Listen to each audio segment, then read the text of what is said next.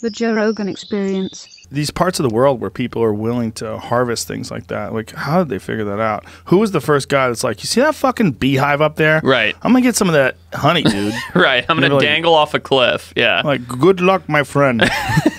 I was saying this the other day to some buddies. Who was the first guy to figure out caviar? Who's the first guy to suck off a sturgeon and be like, "Hmm, this is delicious"? You Good, know? good point. It's like, I are guess you they probably me? just eat everything they can out Yeah. of a fish. Yeah.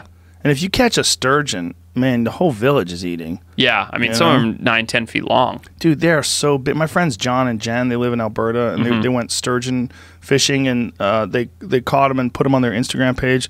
And you're looking at it like that is a prehistoric dinosaur type Right. creature. That thing is enormous. Those big scales down the sides and down the back, and the weird mouth and whiskers. They're bizarre. Yeah, there's something about the way you you- you're looking at them. You're like, I don't feel like you should be catching that. Right. Looks too old. Yeah, it looks like you just you should probably leave that thing alone. They think that that might be um, one of the um, you know there's there's a lot of those North American um, things that they think are monsters like Nessie. You know, like like the Loch Ness monster. They Mm-hmm. Sure. also have like ones in Lake Michigan. Mm-hmm. and- what do they call it? Lake Champlain. They have a Lake Champlain one, and they think that it might be sturgeon. Oh, interesting. These people are seeing because you know if especially because people have a, tend to, a tendency to exaggerate. If you see a ten foot sturgeon, you Right. would think it's a 20 50 foot long. feet long. Yeah, Like, Oh my totally. god, it's a dinosaur. Totally, totally. Yeah. Do you know that um, this is kind of interesting? They actually had documented bull sharks stuck in the Great Lakes.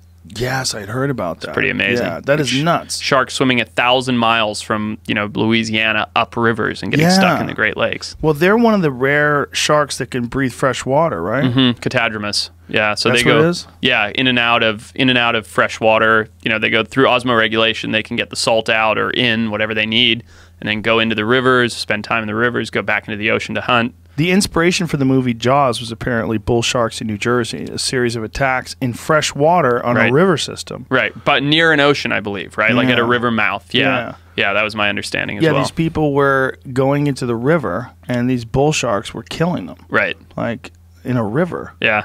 Like what? Nowhere is safe. Nowhere is safe. Well, they're really aggressive, right? Yeah, they have the highest testosterone of any species of shark, Ah. um, and so they're just they're just Jacked up and, and they're like yeah they're just ready all the time. Like they're they're bullish and you know their shoulders are kind of arched over and their pecs are locked and they just they look ready at any time Mm. to just snap. S- yeah, they found them all the way up in like Illinois. Yeah, yeah, it's crazy. What the fuck? Like think of the temperature in Chicago right now. You know, Oh, and the shark swims all the way up there, cold-blooded monster. yeah. such. How did they get into the Great Lakes? Well, they used to go up the Mississippi River, but I think with all the locks that are there now in place, they just. I think the idea was that they got stuck there when they were building the locks, and then they died out over time. Ah, when did Yeah. when was the last known sighting of one? I think Uh, some. two, two years ago. Oh, there you go. And I find them. In, there's been one found in Iowa, Texas. Iowa. How the fuck is a shark getting to Iowa? Imagine, yeah, we lost Billy. He got bit by a shark. What was he surfing? Right. No, he was in Iowa. Right, right. He was plowing corn and Like, got killed Bill- by a shark. Billy might be an asshole. Yeah. in Ohio, they found him. Really? Yeah. Ohio? That's what it says Sharks on their in Ohio. What? How do they get in Swimming Ohio? Up the river. I mean, all those rivers are connected. Yeah, God damn, that's amazing. right. Nature finds a way. You know, when I, whenever I look at those um, videos of bears catching salmon as they're jumping up the river, like, what was the first salmon thinking when it, it decided, hey, I'm gonna go up these rocks, Right. back to the place where I was born, Right. and and and and spawn there. Put a target on my back. Yeah. And then, oh, this gigantic fucking bear waiting to catch me in the air. Right. Like those images of bears catching them with their mouths as the salmon are flying through the air, trying to make it up the. It's just, but it's so weird. Like, what a weird system. It's like nature's assuring robustness. Mm-hmm. They're sure assuring that these fragile fish don't make it. Because Right. in order to be able to make that trip to the ocean and back to get through the rivers and streams to survive, you have to be rugged. Right. And so Fittest they're of the ensuring. Mm-hmm. it. Yeah. So they're going upstream, swimming against the current. Right. Oh, oh, and by the way, here's a fucking 1,800 pound bear looking to eat you. It's amazing. God, it's crazy. it's so cool. But that that is a viable system. Is this is the system that's been in place forever. Right. So strange. Right.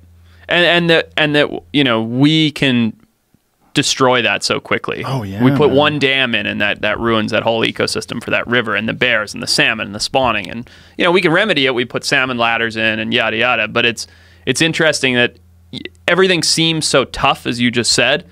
And at the same time, it's so fragile because we, you know, we do one thing like put in a hydroelectric dam and it ruins the entire ecosystem. Yeah, we were in Seattle, and in Seattle, there's a place where you can go, and it's like underneath this bridge, and there's these clear plexiglass walls, and you can actually see the salmon Mm-hmm. Oh, making their way through and up the river. And they were explaining how they had put dams in and didn't really understand the consequences of putting mm-hmm. these dams back when they did, and then all these salmon would go to the mouth of the river where they thought they were going to go upriver, and it would be blocked. Right, and and, they would just be stuck there. and they Yeah. just died, and they Right. didn't breed, and so the population d- drastically diminished. These salmon died in like in the harbor. Yep. like really wild stuff. Yeah, it's crazy.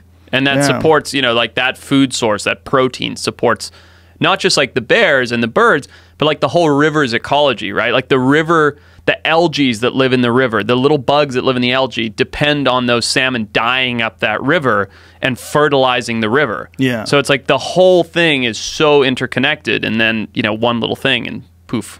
Did you? th- Yeah, that is really crazy.